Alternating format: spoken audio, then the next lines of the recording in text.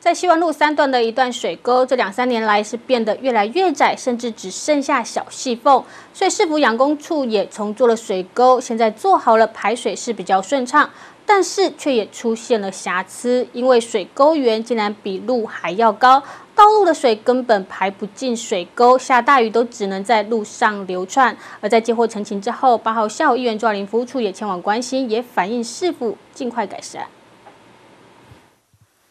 这是之前的画面，希望路三段就在道路侧的水沟前面这一段还算宽，不过越往前一点，突然变得越来越窄，甚至像这样根本只剩小细缝，不注意根本不知道是水沟。但是再来到同一个现场，整排的水沟已经做好，整个沟面变宽也比较深，掏空了，然后两边的水沟都挤压在一起，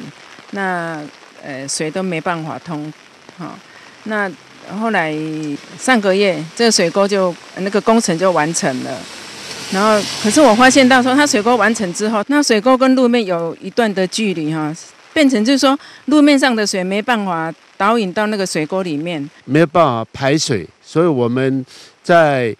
争取呢，再重新做做条水沟。但是今天今天这条水沟做完了以后呢，有瑕疵，那个水沟的沟沿这个地方呢，高度呢超过这个。那个柏油的路面，所以造成有一个横沟的水流在在流。那如果这个没有改善的话，将来长年累月的话，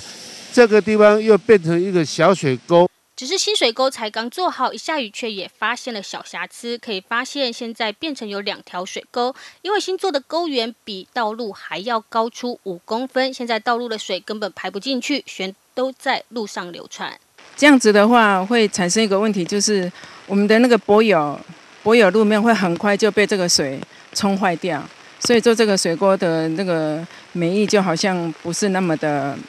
呃圆满。早上跟养工处已经反映过，所以他包商会来处理，是要整个柏油再把它铺铺了以后，那个高度呢跟沟沿旁边的这个高度一样，后市呢。沟沿旁边呢打孔，让这个雨水呢可以正常的流入那个水沟。沟外有水流在跑，对于这样的情形，八号下午医院助林服务处也前往了解，并且已经反映市府养工处尽快的请包商改善。九成惠林细致采访报道。